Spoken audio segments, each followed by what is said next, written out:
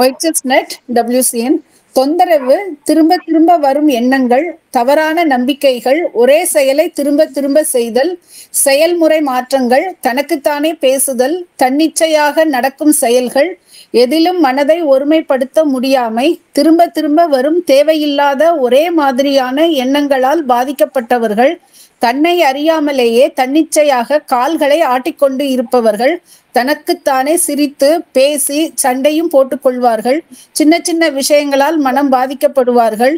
Illusion delusion hallucination போன்ற மன பிரச்சனைகளால் பாதிக்கப்பட்டவர்கள் சொன்னதையே திருப்பி சொல்லிக்கொண்டே இருப்பது மனதில் தேவையில்லாத சிந்தனை உள்ளவர்கள் விட்டுவிட்டு அல்லது தொடர்ந்து வரும் விக்கல் இருமல் தலைவலி போன்றவற்றால் அவதிப்படுபவர்கள் ஏதோ குரல் கேட்பது போல் யாரோ பேசுவது போல் பின்தொடர்ந்து வருவது போல் தோன்றும் மனப்பிரமைகள் உள்ளவர்கள் இந்த மருந்து தேவைப்படுவோர் தொந்தரவு என்ற வார்த்தையை அடிக்கடி உபயோகிப்பார்கள் எண்ணங்களால் தொந்தரவு ரொட்டீன் மாறியதால் தொந்தரவு தொந்தரவு கொடுக்கும் செயல்களால் மனசோர்வு பதட்டம் போன்ற பாதிப்புகள் மனதில் ஓடும் தேவையற்ற எண்ண அலைகளால் விளையும் குழப்பத்தால் படிப்பில் கவனம் செலுத்த முடியாத மாணவர்களுக்கு இது மிகவும் பயன் தரக்கூடிய மருந்தாகும். இறந்தவர் கண்முன்னே தோன்றுதல் பாம்பு தேள் போன்ற அதை கண்டுவிட்டால் அவை கண்முன்னால் தோன்றி தொந்தரவு செய்வது போன்று இருக்கும்.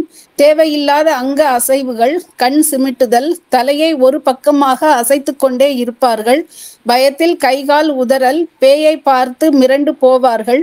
பரீட்சை ஹாலில் கேள்வித்தாளை பார்த்தால் அதில் உள்ள கேள்விகளை கூட படிக்க முடியாத நிலை. பேப்பரில் ஒன்றுமே இல்லாமல் இருப்பது போல் இருத்தல். இது பயம் அல்ல பரபரப்பு.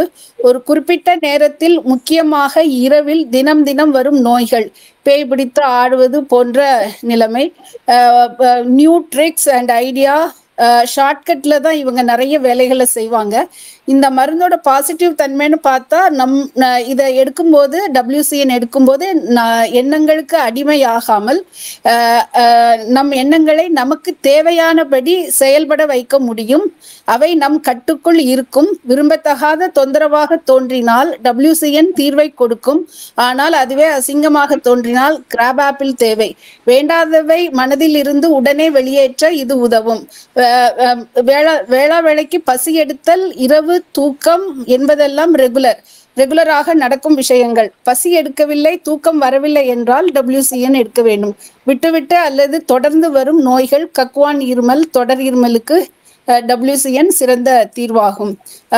விபத்துக்கு பிறகு நோய் குணமாகி விட்டாலும் அதன் பின் விளைவுகள் நீண்ட காலமாக இருந்தாலும் தூக்கத்திலிருந்து எழுப்பிவிடும் நோய்கள் அல்லது காலையில் தூங்கி எழுந்தவுடன் வரும் நோய்கள் ஒரு உறுப்பு அல்லது மூட்டு செ- செயலிழந்து போவது இயலாமை.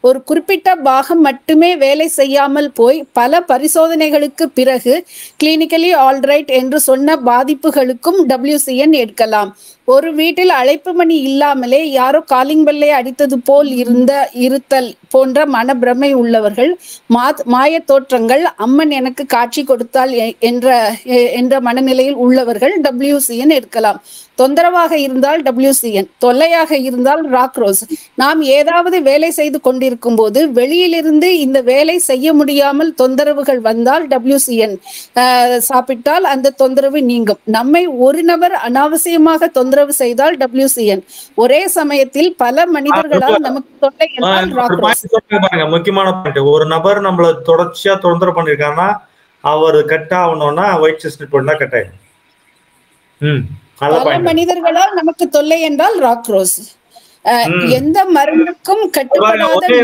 அதாவது ஒரே எண்ணம் திரும்ப திரும்ப வர்றதுனால ஒயிட் செஸ்னட் போட்டா ஒரே மனிதர் தொந்தரவு பண்ணா அது வந்து ஒயிட் செஸ்னட் ராக் ரோஸ் பல வேலைகள் இருக்கு. நான் இத்தனை வேலை பண்றதுக்கு எப்படின்ற ஒரு ஒரு ஒரு அதிர்ச்சி வர்றது வந்து ராக் ரோஸ் டெண்டன்சி ம். எந்த மருந்துக்கும் கட்டுப்படாத நோய் ஒரு குறிப்பிட்ட பாகம் மட்டுமே செயலிழத்தல். இதற்கு டபிள்யூசிஎன் சிறந்த தீர்வாகும். பார்ஷியல் அம்னீஷியாவிற்கு டபிள்யூசிஎன் பக்கவாதத்திற்கு காரணம் மூளையில் இரத்தக்கட்டு.